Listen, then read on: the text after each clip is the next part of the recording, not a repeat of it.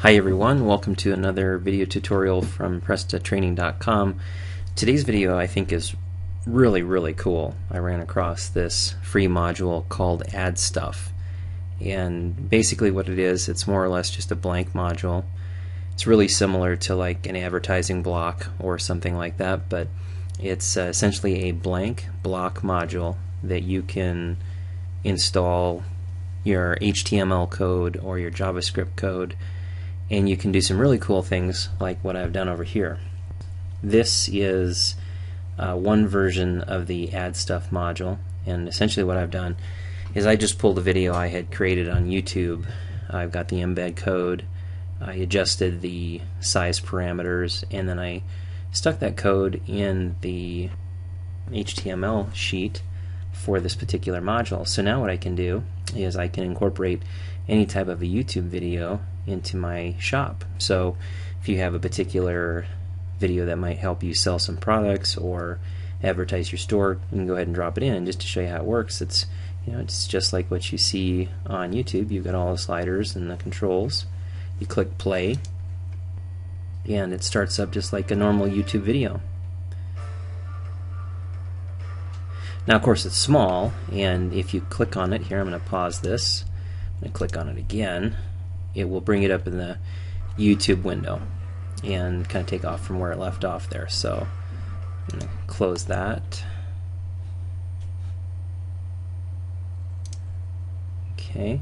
So, you know, with a little creativity, you could do a lot of really neat things just with videos. Um, it took me a little bit of time to figure out how to actually size this correctly, and that's part of what I want to show you. So in this video, what we're going to talk about is incorporating a YouTube video into the add stuff block. In future videos, I actually want to show you something that I think is extremely critical for your store, which is incorporating an Aweber sign up form for a newsletter or an email campaign into that particular add stuff block. So we'll talk about that later. Today we're going to talk about uh, the YouTube video integration. So the first thing you need to do, I'm going to take you up to a tab here that I've already got set up this is where you'll have to download it from. And special thanks to eCart Services, uh, I'm sorry, ecartservice.net. That's where I found the module. So uh, this just goes to their home page, ecartservice.net. Take you right to the home page. And where you want to go is to their free PrestaShop modules tab. So click on that. And then you scroll down and you can see they actually have several things here that I will check out eventually. I'm so impressed with this add stuff add, add stuff uh, module. I definitely want to look and see what the other modules do, but for now let's just talk about add stuff. So let's go to read more, or I'm sorry, get add stuff. You can go right here, get it directly. You can certainly go to the read more if you like, and there is some good stuff there. So I'm going to open it with my WinZip program.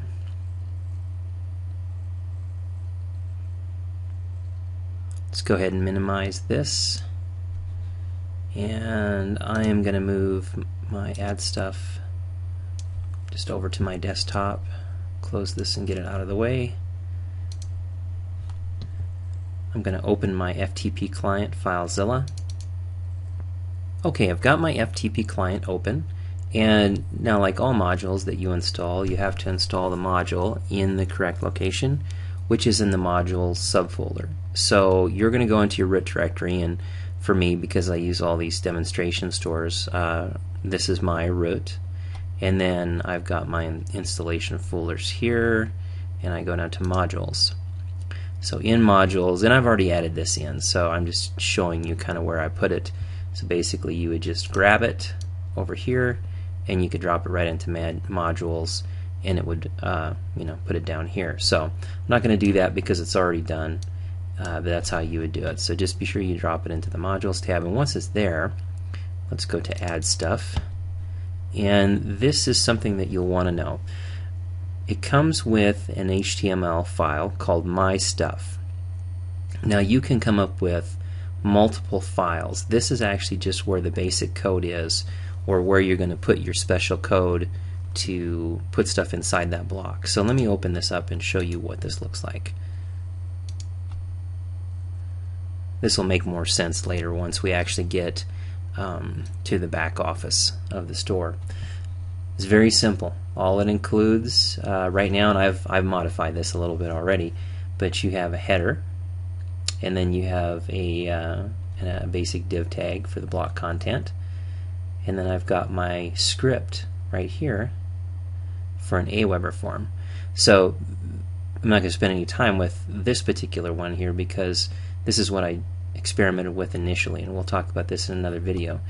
But it, there just isn't hardly anything to it. So if you've got script for pretty much anything you want, whether it's HTML or JavaScript or whatever, you just drop it in between these two, uh, this beginning div tag right here and this ending div tag right here. And then you save it and you be sure that you transfer the file back to your um, your add stuff folder here and overwrite the my stuff uh, file that came with it or you just change it like I did here. This is the modified my stuff that I created and you don't have to call it my stuff. You can change it to whatever name you want but I just kept it simple.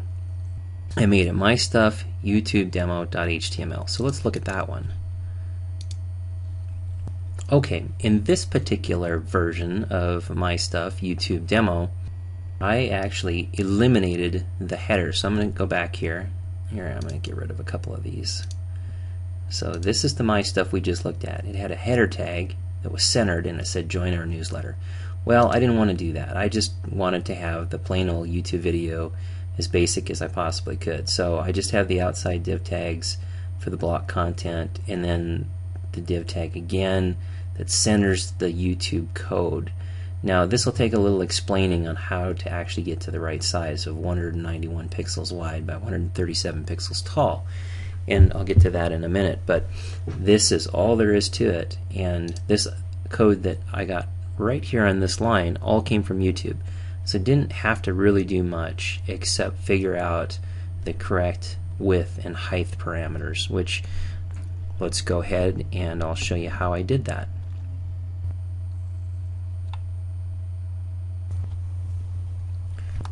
Now in order to determine the width of this space here, you're going to have to have a basic understanding of using Firebug with Mozilla Firefox.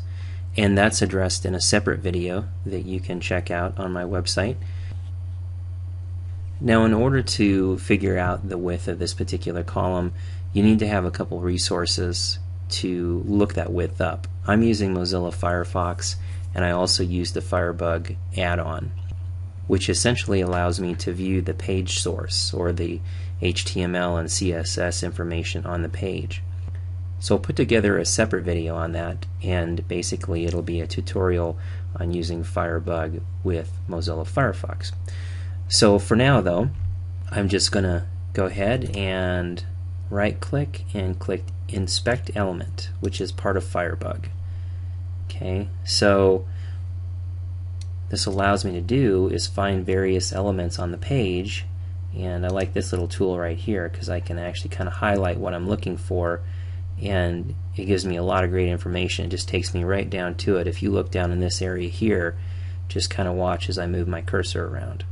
So um, I'm looking at I'm trying to find a width on this particular item here or maybe even on the column itself is easier. So what I'm going to do is I, as I move this around, you can see down in the bottom, I'm just going to click here. There, now it kind of locked in that div tag, the div ID left column. So what I want to do next is activate the div ID to be sure. Okay, so I can do the div ID center column too. And you can just watch this stuff over here on the right. It'll change each time I click on a different div ID. So you can see now I clicked on the right column, it says right column up here. If I go back to the div ID left column, it's the left column. This is really, really slick because it gives you a bunch of information right away. And the first thing I notice is that my width is 191 pixels. That's how I figured out how to work with the width on my YouTube video. Now just to show you some other cool stuff, if you went to the div ID of the center column, I know that now my width is 556 pixels and div ID of the right column my width is 191 pixels. So that's really all we need to know for right now. It's 191 pixels wide.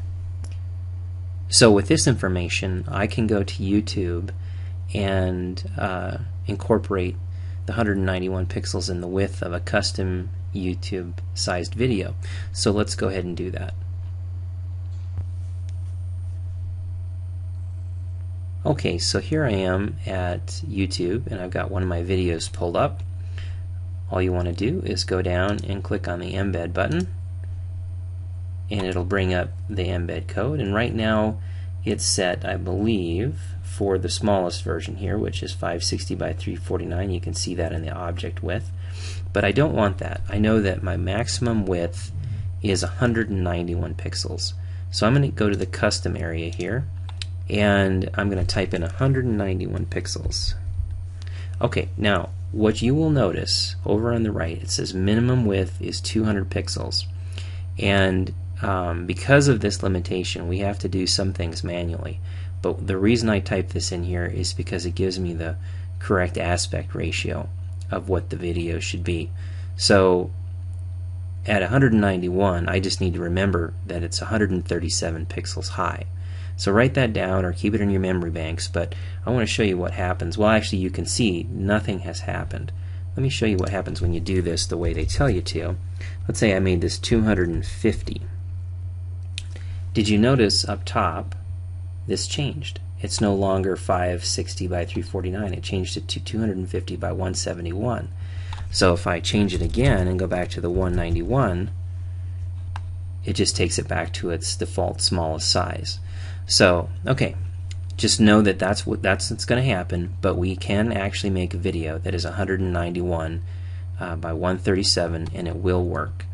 So let's grab this embed code. Just click in here and copy it. And now I'll take you back over to where we can modify our my add stuff YouTube.html file that we have in our module folder again.